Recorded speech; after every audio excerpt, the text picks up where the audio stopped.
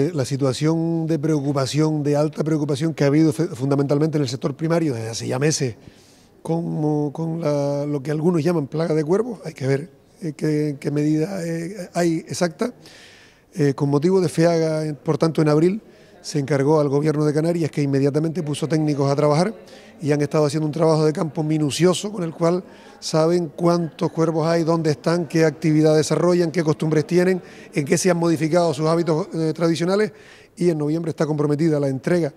y que haremos pública de ese estudio donde primero nos situarán exactamente en cuál es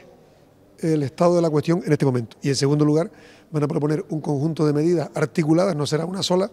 para que podamos mantener especies que son eh, tradicionales y que hay que mantener porque al ecosistema, o sea, al equilibrio natural de la isla le vienen bien, pero en una medida y en unas condiciones en las que no dañen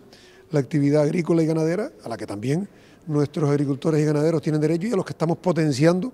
para que haya en Fuerteventura mucho más sector primario. Por tanto, va a ser perfectamente posible equilibrar la conservación de especies con especies en la medida y en, y en los términos en que se establezca con la actividad económica, la actividad humana y en este caso especialmente la actividad agrícola y ganadera y en esa dirección eh, queda un mes para tener la respuesta y en ese momento y de manera ordenada se tomarán las medidas que procedan para que todos podamos vivir sobre el mismo territorio.